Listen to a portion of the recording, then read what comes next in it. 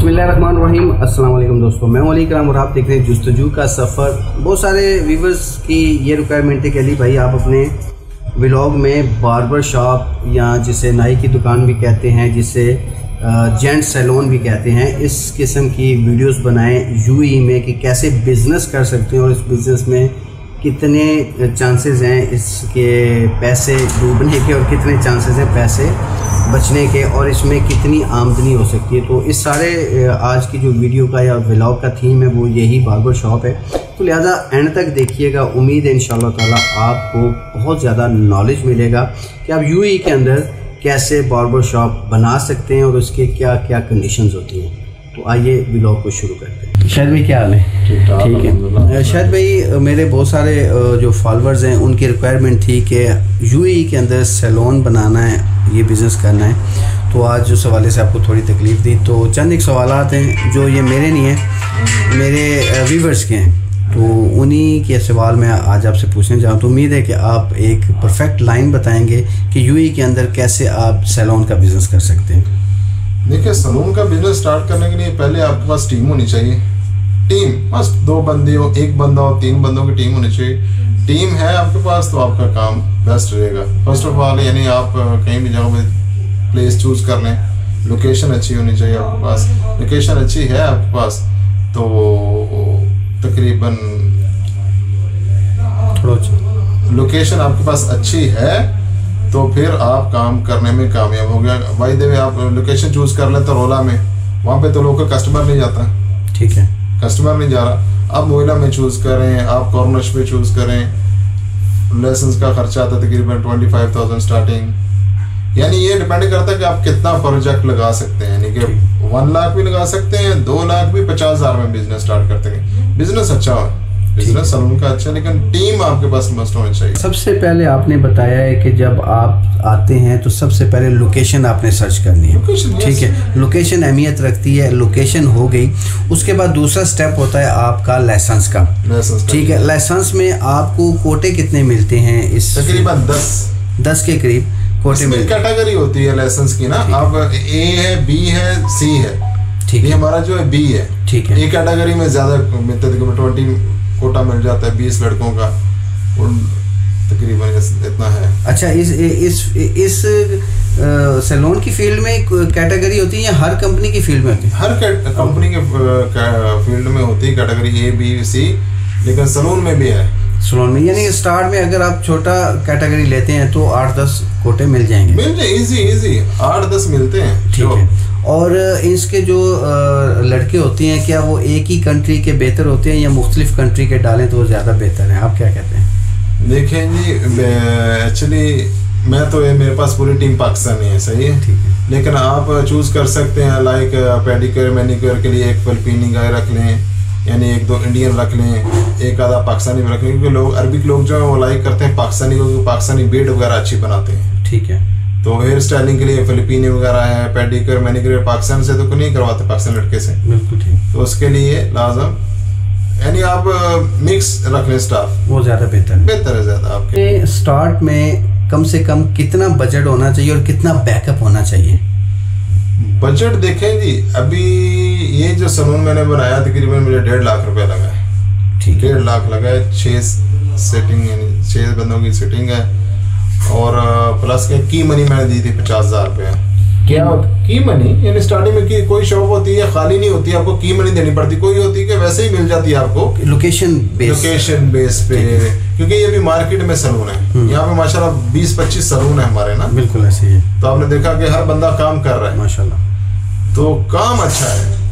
Must team आपके हाथ में होनी चाहिए। आपके पास टीम नहीं है तो प्रॉब्लम आती है। अच्छा इसमें आपने कहा है कि डेढ़ एक लाख का तो आपका ये सेटिंग लग गई है। और अगर तीन या चार कुर्सियों वाला हो तो पचास हज़ार में पचास हज़ार में पचास हज़ार में स्टार्टिंग हो जाता है बिज़नेस क्योंकि ये बीस पंद्रह बीस हज़ार रुपए लेसन का खर्चा है। ठीक है। बाकी ऊपर डिकोर वगैरह का है। और रेंट वगैरह जो रेंट रेंट डिपेंड करता है लोकेशन के। अभी ये फिफ्टी थाउज़ेंड है इसका रेंट इसमें चार चेक छह चेक ये भी ऑप्शन होता है यस चार चेक का चेक चार चेक होते हैं। One cash and three check check होते हैं। अच्छा इसमें आप क्या समझते हैं कि अगर कोई शुरू करता है तो कितनी देर उसको लगती है मंथली प्रॉफिट इनकम जनरेट होने में? एक्सपेंसेस निकाल के। देखिए ये आपके पास लड़के जो हमारे पास लड़के थे पुराने थे। नए लड़के तकरीबन छह महीने में।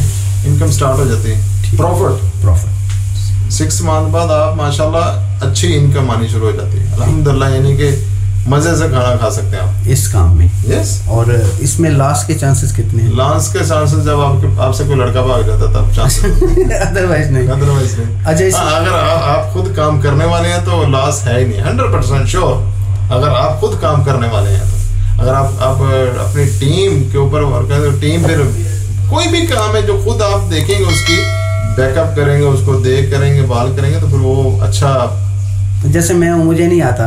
तो मैं अब अगर टीम को फॉलो अप दूँगा तो कर सकता हूँ। और अगर मैं खुद कर सक जैसे आप हैं आप खुद कर लेते हैं और माशाल्लाह मैंने देखा है आपने बहुत अच्छा काम करते हैं तो आप खुद करते हैं तो आपको पता है कहाँ पे कौन डंडी क्या मार रहा है। ये वही चीज़ है ना। अगर लड़के हैं तो लड़के फिर पता है और चलता है यहाँ पे तकरीबन फिफ्टी परसेंट है।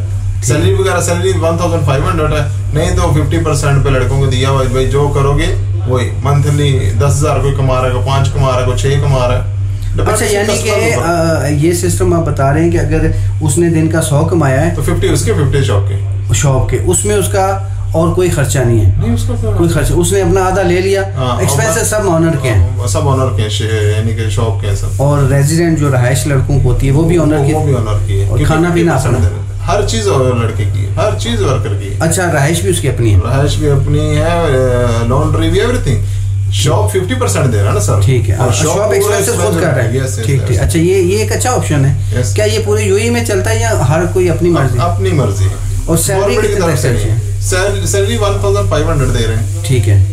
फिर उसमें क्या कि कॉम्पिटिशन ऑनर की है मेस वगैरह खाना वो पूरा ऑनर का। ठीक ठीक। इसमें ज़्यादातर यहाँ पे मैंने सुना है कि ये फिफ्टी फिफ्टी या सिक्सटी फोर्टी चलता है ऐसे। 60 40 50 50, 50 वो अच्छा मालूम हो तो फिर 50 50 नहीं तो 40 60 और ये नए लड़कों के भी यही रेशो है या सब कारीगर? सब सब सब सबके। अच्छा आप क्या तजवीज़ करेंगे कि अगर कोई नया यहाँ पे पार्लर बनाता है यहाँ पे जेंट्स तो उसमें उस अपनी होम कंट्री से या किसी भी कंट्री से बुलाता है या यहाँ पे पुराने लड़कों को मौका मिले?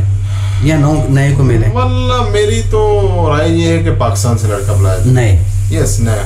नया बुलाएँगे वो भाई एक साल में स्टैंड होएगा बाद में आपके साथ पाँच सात साल रहेगा। जो पुराना है वो छह महीने में बाद में फिर कोई ना कोई आगे निकल जाए। वो पुराने उन्हें सारे गुर पता चल चुके होते हैं। नया होता है वो एक तो एहसानमंद भी होता है कि यार मैं लेके गया है। और इसमें जो वीजी कास्ट होती है वो वीज़ा कास्ट कंपनी की होती है या बंदा आप देता है? कंपनी की होती है अगर सैलरी पे नहीं है। अगर कमीशन पे है फिर कंपनी की नहीं है। ओके अगर सैलरी पे है, फिर कंपनी पे कर रही है। अगर सैलरी पे नहीं है तो फिर कंपनी ने एक रुपया भी लगाएगी फिर ए टू जेड वो वर्कर का ही खुद पैसे लगा के आएगा वीजे की कास्ट लगाएगा और आपके साथ वो काम करेगा। और वीज़ा आपका होगा। ठीक हो गया। अच्छा कुछ एडवाइस देना चाहते हो? कहीं पे गलती नहीं करनी। नहीं नहीं कहीं भी गलती बस यही है कि बस स्टाफ के साथ अच्छा चले। ठीक है। और मेहनत करें काम कोई भी बनाए देखे नहीं आपने सलून पे लाख रुपए लगा दिया तो आप जा रहे हैं इधर जा रहे हैं उधर जा रहे हैं लड़के काम करें में लड़के कुछ नहीं कमा के देंगे। अगर आप बैकअप करेंगे तो लड़के देंगे आपको। मकसद किस सर पे खिलौना है. काउंटर पे बैठना है। देखना काउंटर पे भी बैठना नहीं ये नहीं कि चिपक ही जाना शॉप पे क्योंकि लड़कों को थोड़ा सा स्पेस देनी चाहिए ना। ठीक है। Yes. दोबारा मैं वही क्वेश्चन करूँ कोई ऐसी आप राय देना चाहती हूँ किसी नए बंदे को? क्योंकि जो पाकिस्तान से मेरे जो फॉलोअर्स हैं वो सारे के सारे इस वक्त हमारे मुल्क के हालात भी आपको पता ऐसे हैं कि वो कहते हैं कि अली भाई को ऐसा आइडिया दसो जरा पंजा हज़ार है चालीस हज़ार है एक लाख जाइए तो बिज़नेस शुरू हो जाए। अली भाई थर्टी थाउज़ेंड दर में भी सलून मिलते हैं। अच्छा। जी थर्टी थाउज़ेंड तीस हज़ार में भी सलून मिल जाता है ट्वेंटी फाइव में मिल जाते हैं। आज मैं आपको लेके दूँगा। कितने बने बनाए। बने रेडी उसकी क्या रीज़न मिलते हैं।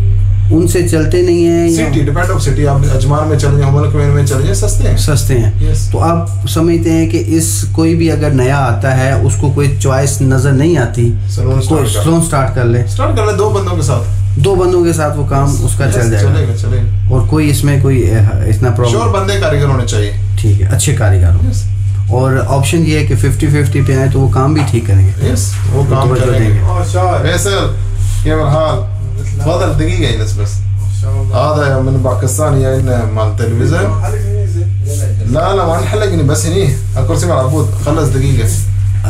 अभी आप अरबी बोल रहे थे तो यहाँ पे एक और चीज़ भी है कि आपका तो ज़्यादातर क्लाइंट अरबी है। तो जिसको अरबी नहीं आती उसके लिए कोई ज़्यादा मुश्किल तो कोई इशू नहीं कोई इशू आहिस्ता आहिस्ता सीख जाता है और क्लाइंट भी अरबी हो तो बंदा कवर कर ही है। भाई इंग्लिश अरबी आती है ना सबको। इंग्लिश सब सब अरबी लोग को इंग्लिश आती है। ठीक है इजी है कोई मुश्किल नहीं। चलें जजाकल्ला आपने बड़ा कीमती टाइम दिया।